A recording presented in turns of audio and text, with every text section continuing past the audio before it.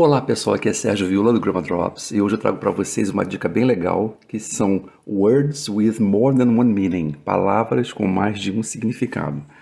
Então, como é que é isso? Muitas palavras em inglês têm mais de um significado, tanto assim que o dicionário nunca tem uma definição só, seja qual for a palavra. Por exemplo, eu digo ABC é a vogal e é a primeira letra do alfabeto, A. Mas quando eu digo, por exemplo, I have a book, I have a book. Esse a book é um livro e esse esse a pode ser um ou uma, tá bom? É o artigo indefinido. E quando eu digo I work six days a week, esse a week pode ser a preposição. Na verdade, é a preposição por, né? Por semana. Eu trabalho seis dias por semana. Então, só um simples a, que pode ser vogal e primeira letra do alfabeto, você tem mais dois significados como palavra, não letra. Olha que interessante. Podemos ver então é, mais algumas palavras curiosas nesse vídeo, e é o que nós vamos fazer. Serão 10 palavras, tá bom? E ao final do vídeo eu queria que você avaliasse o que você aprendeu. Pense no que foi novo para você, mesmo que você já tenha visto essa ou aquela palavra antes. Lembre-se que podemos aprender coisas novas até mesmo sobre coisas que já sabíamos em alguma medida. Então, por exemplo, você viu uma palavra aqui que você já conhecia, observe se você conhecia todos os significados que eu vou dar aqui. E se você conhecia todos, pense, por exemplo, se existe mais algum que eu não disse, mas que você pode saber. De repente existe também, né? Eu não estou esgotando tudo aqui não. Então vamos lá. Vamos começar com a palavra arm, que é parte do corpo, part of the body. Vamos ver como é que significa isso aqui nós podemos ter arm como part of the body e nós podemos ter arm como weapons, e é de armas realmente. Então, olha, pode ser braço e pode ser arma, tá bom?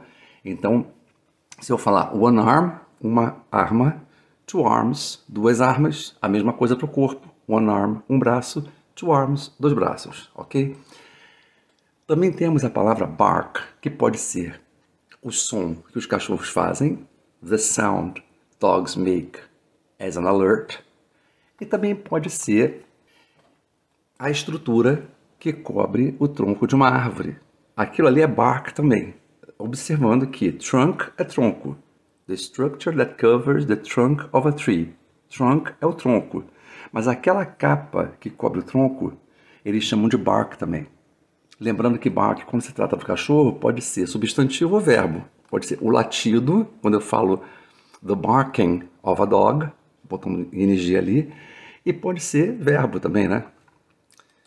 Isso é um clipe, como esse do Michael Jackson, que foi recordista, né? Histórico. E pode ser também an object used to hold paper together. Então, esse clipezinho que a gente usa para guardar papel, para juntar tudo, né? Também pode ser a device used to hold one's hair in place. Então, aquele grampo de cabelo também é clip e pode ser também a device used to store ammunition and insert it into the weapon. Então aquele aquele cartucho que você usa, espero que você não use, mas pessoas usam para colocar balas numa numa arma e geralmente armas automáticas e tudo, elas têm isso, né? Tudo isso é clip. Olha que loucura. Date. Todo mundo pensa logo em data. A specific day on the calendar. Ótimo. Mas acontece que date pode ser outras coisas também, como por exemplo, doing things together for romantic reasons. Quando um casal sai junto, namora, eles estão fazendo o quê? Dating. Eles podem estar num date também, on a date, tá bom? Também pode ser uma fruta, isso aqui é surpreendente para muitos brasileiros, tâmara, né? A fruit named tâmara em português. Também pode ser usado para dizer que você é um pouco antiquado. Por exemplo, se você disser uma palavra e depois você disser, oh, that word dates me. Essa palavra né, entrega a minha idade. É literalmente isso. Por exemplo, algumas gírias que a gente usa fazem isso, né? Tem gírias que são tão antigas que quando a pessoa fala, você diz, Ih, esse cara aí é antigo, esse cara aí tem idade. então, por exemplo, vamos dizer disco, that word dates me. Então, a palavra disco, que é, ela serve para discoteca, tá bom? Entrega, porque geralmente agora as pessoas falam club, na verdade. Play é outra que também tem muitos significados. Take part in a game é quando você fala jogar, por exemplo, play football, por exemplo, com a Marta aqui, rainha. What children do for fun in their free time, o que as crianças fazem no tempo livre delas, que é brincar. Então, play pode ser jogar um jogo esportivo, inclusive, jogo de tabuleiro também, tá? E brincar, sim, e pode ser também make something start like music or videos. Por exemplo, quando você aperta o botão lá e a música começa a tocar, você está playing the music que você deseja, né? So you play the music you like, you play the video you want to watch. Play é o verbo para esse caso aqui.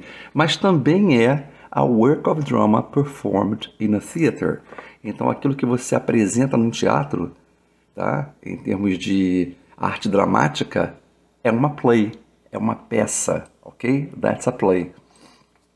Scale pode ser a device used to weigh people or things. Então, é esse equipamento que você usa para pesar pessoas ou coisas. Você pode pesar coisas na cozinha também, por exemplo. Small plates that cover the body of some fish. Aquelas escamas, tá? Que cobrem ah, o corpo do peixe, pequenos, né? pequenas plaquinhas. Aquelas são as escamas, são scales em inglês, tá? No plural, scale no singular. A set of musical notes ordered by pitch. Então, você tem lá a escala de dó, a escala de ré, é isso aqui também, scale, tá? Você tem também a set of numbers used to measure something. So, a set of numbers used to measure something. Você vai usar esses números, né? É um grupo de números que você usa para medir alguma coisa. Então, você tem os Celsius, que são os graus ali, né? Tem o Fahrenheit, você tem é, escala para outras coisas, para mapas, por exemplo, né? Quando você vê aquele escala 1 para 1000, né? Quer dizer que cada, vamos dizer assim, é, uma unidade de, de, medida lá equivale a mil na realidade, ou um milhão, e aí vai. Aquilo ali também é escala, exatamente como a gente fala em inglês também. Então, scale tem quatro significados aqui. Tie, você pode ter a string of cloth worn as an accessory, então é aquela tirinha de pano que é usada como acessório, que é a gravata. Também pode ser aquela bow tie, que é aquela gravata borboleta, tá bom?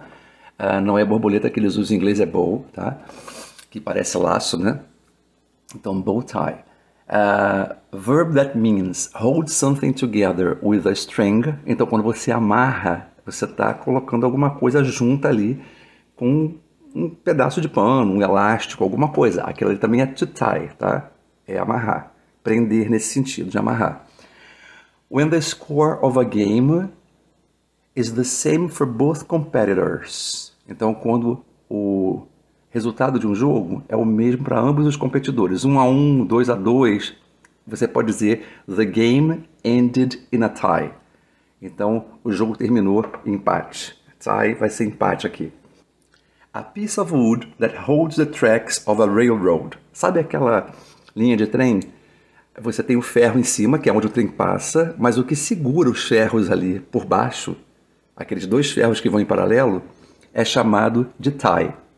Então, uma railroad tem várias ties segurando ali o trilho do trem, ok? Então, isso aqui é importantíssimo. Outra palavra interessante é trunk, que nós já vimos como tronco de árvore. Lembra quando a gente falou sobre aquela camada que cobre a árvore? Nós falamos que embaixo era o trunk, que era a parte central. E é realmente isso. The central part of a tree, trunk. Mas também temos o seguinte: the part of the body that elephants use to hold things. Então, a parte do corpo que os elefantes usam para segurar coisas. Muita gente pensa que a, a tromba do elefante, que é o trunk, equivale ao nariz equivale à mão do elefante. Ele não tem mão, mas o trunk funciona como mão, a tromba dele, ok? The part of the body below the neck and above the waist. Então, essa parte do corpo abaixo do pescoço e acima da cintura é o que a gente chama de trunk. Não confundir com chest, que é a parte do peito. O trunk é tudo, inclui o peito, a barriga, né? Isso é trunk. A piece of furniture that resembles a box, also chest. Então, essa esse item de mobiliário, que a gente chama de baú, é também trunk. Mas muita gente também chama de chest, e não confundir com chest, que é o peito do homem, ok? O peito da mulher, no sentido de seio, é breast. Também não confundam isso, tá? Em inglês também tem isso. Às vezes uma palavra só em português tem dois significados em inglês, e vice-versa. Yard. The area around the house, especially in front of it. Então, aquela área ao redor da casa é o yard é, mas é principalmente a parte da frente. Também a parte de trás pode ser. Quando você quer diferenciar, você vai chamar de front yard or backyard. Mas se você falar The children are playing in the yard, as crianças estão brincando no quintal. É isso que significa. Não confundir com garden, que é jardim florido, tá? Gardens have flowers, ok? Yard geralmente tem a ver com grama. Measure equivalent to almost one meter. Então, essa medida de quase um metro. Three feet no inglês americano, que os americanos não usam é, a, a, nossa escala de metros aqui, não. Eles não usam. Eles usam feet, que são pés. Então, para o americano, one yard is equivalent to three feet. Para nós aqui, it's equivalent to almost one meter. Veja que é almost, porque é 0.9144, tá? Então, é por isso que é quase um metro, ok? Então, se nós tivéssemos é, three yards, nós teríamos 3 metros, faltando um pouquinho para completar 3 metros, ok? E olha, não pensem que entender medidas que os americanos adotam é coisa fácil. Não é difícil. Eu não conheço ninguém que conseguiu memorizar aquilo ali. Ninguém. Ninguém que consegue converter de cabeça, porque tem fórmula às vezes para converter. Você tem que usar o Google mesmo para poder fazer a conversão. Tá? Quando você já mora lá e se acostuma, você nem pensa mais em metro.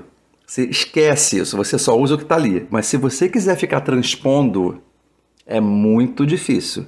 E não vai ser de cabeça que você vai conseguir o tempo todo. Porque yard é só uma das coisas. Olha que eu já falei em feet aqui. Mas tem inch também, que são polegadas. Eles usam mais do que centímetros. Eles não usam centímetros, só usam polegadas. Já os britânicos, felizmente, usam tudo que a gente usa. Mas se você é de fora e quer ficar fazendo conversão né, de feet, por exemplo, de yard para metro, você vai ficar numa enrascada, entendeu? Tem que acostumar a usar o que eles usam. Zoom, app used for online meetings. Então esse app que todo mundo está usando para fazer é, encontros online, conversas online, conferências, é o Zoom. Eu, particularmente, prefiro o Google Meet, mas muita gente prefere o Zoom. Uh, depois nós temos aqui, como Zoom também, esse verbo aqui, que é um phrasal verb, zoom off, que é quando você se move muito rápido. Tipo assim, se você falar he zoomed off on the road, ele desapareceu na pista, no sentido de que ele né, se distanciou rapidamente. Também pode ser increase quickly, quando é zoom up. Por exemplo, é subir, né? Numa escala de, de preço coisa assim. Como, por exemplo, aqui. Aqui diz que a casa é, mediana lá no Reino Unido subiu isso tudo que você está vendo aqui. Olha só como é que foi a linha, tá? It zoomed up. Também é, é verbo regular quando você usa o passado, tá? E aí nós temos, por último, para o zoom, nós temos é, come closer or further by using a camera lens, que é zoom in or zoom out. É quando você dá um zoom, aí você zoom in em inglês. Quando você tira o zoom, aí você zoom out em inglês. É quando você aproxima ou distancia não é, a câmera através da lente de uma foto que você está tirando de um, de um do alvo de uma foto. Eu quero aproximar no rosto de uma criança, zoom in. Eu quero me afastar do rosto da criança, zoom out. Tá bom? E com isso, gente, nós vimos várias palavras, um total de 10 palavras, com um total de significados de 35. Foram 35 significados diferentes para 10 palavras. Olha que coisa impressionante. Uma média de 3,5, né? Significados diferentes por palavra, em média, né? E o que, que eu posso dizer para vocês? Thank you. Esse é o Grammar Drops, by Sérgio Viula. Inglês pode ser mais fácil do que você imagina. Inscreva-se no canal para não perder os próximos vídeos. Sempre vai ter alguma coisa interessante para você aqui.